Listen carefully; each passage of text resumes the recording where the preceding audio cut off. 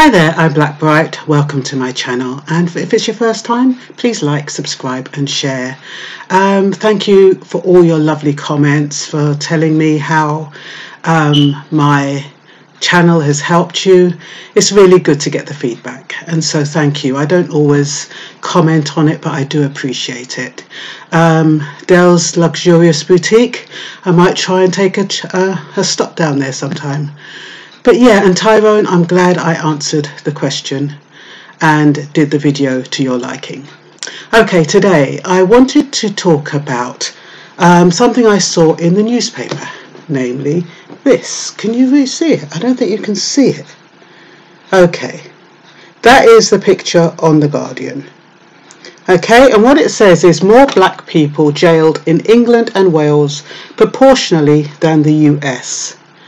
And you know, it makes, you know, people seeing that, they're going to think, oh my God, the UK's overrun with foreign criminals. Because the messages that they, they send you and keep sending us Every time you see a policeman, he's holding down a black man. Anytime you see things like that, it makes you feel as though the prisons are overrun with foreign criminals. I'm going to put some links in there, and they're talking about how much foreign criminals are costing us. They're not talking about anything else. But let me tell you the statistics so you can put it into perspective. Okay? Um, I got a very, I got different statistics because they vary depending on the source. But um, 80, uh, but I'm going to put the source in the link. 81% white are in jail. 81% white people are in jail. Only 9% are foreign nationals. And I saw, um, and that foreign nationals, that includes um, Orientals, it includes Asians, it includes um, EU, I believe. It might not include the EU, but it includes the the people of colour, put it that way. That's 9% out of 81.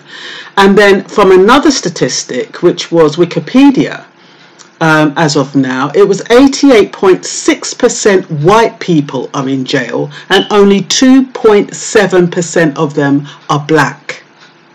2.7 of the whole population in the UK are black. So when they are throwing these images of us all the time, making us believe that the prisons are overrun with black people, it's a lie. Well, it's well, it is a lie because what they're doing is they're showing you an image to make people believe that the prisons are full of black people when they're not. 88%, 0.6, and that must include the Europeans.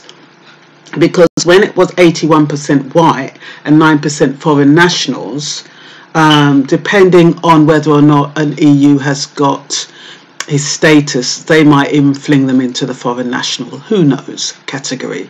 But anyway, um, so the hype in the Guardian, I'm going to put the link below so you can see what it's saying. Um, but, okay, given those statistics that 2.7% are black, um, those statistics are even though black people are 29% more likely to be remanded in custody, even though black people were over three times as likely to be arrested as white people, there were 35 arrests for every 1,000 black person and 11 arrests for every 1,000 white people. And that is even though um, even though black women were more than twice as likely to be arrested than, uh, than white women.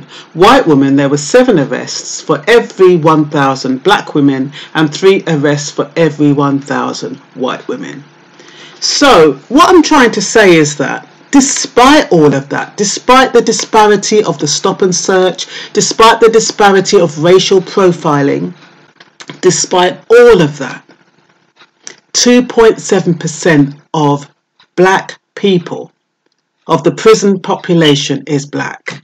So, you know, I just wanted to throw it out there. I'm not going to labour the point and go on and on about it. But, you know, sometimes we have to take a look and think, okay, you know, we, we can't always take what the media is telling us as fact.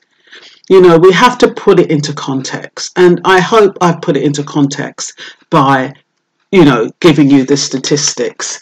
Okay, so that's all for now. Very short, very sweet. I just wanted to make a point because I saw that this morning and I thought, hey, hey, hey, I'm not having that. Bye for now.